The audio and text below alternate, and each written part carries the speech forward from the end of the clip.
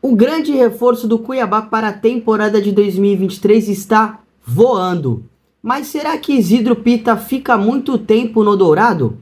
O Pita veio do Juventude para o Cuiabá nesta temporada. Ele é um paraguaio de 23 anos e foi o grande destaque do Juventude no Campeonato Brasileiro do ano passado. É verdade que no conjunto, coletivamente, não foi uma boa temporada para o Juventude, ficou em último colocado caiu para a Série B, mas ele individualmente mostrou sua qualidade, sua capacidade, foi o grande artilheiro da, da, da, equipe no campeonato, foi o grande destaque, que inclusive atraiu o interesse do Cuiabá, que conseguiu se safar nas últimas rodadas né, para a disputa do Campeonato Brasileiro da Série A neste ano. E o Isidro Pita já está fazendo uma temporada excepcional. Ele foi contratado junto ao Ruesca da Espanha por cerca de 60% dos direitos econômicos. O Cuiabá pagou 820 mil euros, mas ainda tem cerca de 20% que pode comprar no futuro. Até o momento, o Isidro Pita já tem em 9 partidas, 6 gols e 5 assistências, 11 participações diretas em gols.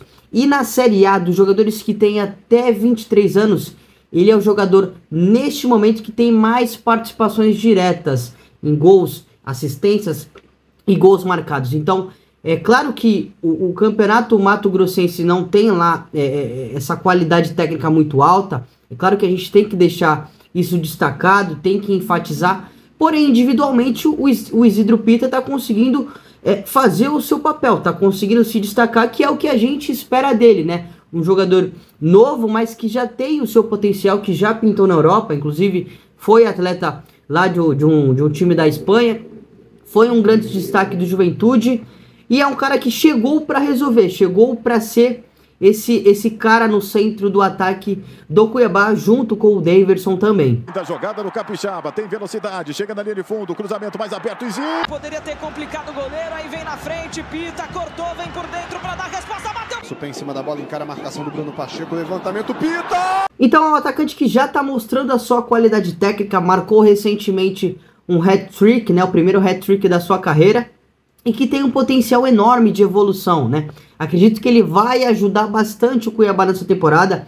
Imagino que, é claro que o Cuiabá está se reforçando, contratou o Wellington, ex-jogador do Fluminense, contratou o Ronald, que estava no Fortaleza, tá tentando engrandecer, dar um peso maior para esse elenco, mas imagino que vai lutar na parte de baixo da tabela. E aí que entra é, a capacidade que o Isidro Pita tem de interferir nisso, de conseguir ser o, o grande cara, de conseguir representar o ataque do Cuiabá na competição. Ele tem essa responsabilidade, apesar de ser um jogador jovem de apenas 23 anos. Mas a questão é, se o Isidro Pita conseguir ter esse desempenho muito bom durante a temporada, acho que o Cuiabá pode ter um lucro aí em cima da possível venda do atleta, né?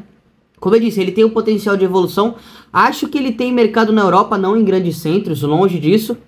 Mas em algumas equipes de médio, baixo escalão em alguns, né, alguns pontos da Europa ele tem mercado. Então é um jogador aí que pode né, render um, um lucro posteriormente aí pro Cuiabá. Né? O Cuiabá contratou ele recentemente, mas pode dar esse retorno financeiro para o Dourado. E eu quero saber de você, torcedor do Cuiabá. Você acha que ele fica ainda pro restante da temporada? É claro que ele tem um contrato ainda, mas será que se ele conseguir manter esse ritmo de desempenho, na Série A do Brasileiro, na Copa do Brasil, enfim, nos campeonatos que o Cuiabá for disputar. Será que ele fica até o resto da temporada? Eu acho que ele vai atrair interesse de alguns clubes, talvez não no futebol brasileiro, mas no futebol europeu e algumas equipes de baixo escalão. E aí, o que, que você acha? Se você gostou do conteúdo, não se esqueça de se inscrever no canal, ativar as notificações e curtir esse vídeo. Um grande abraço e até mais tarde.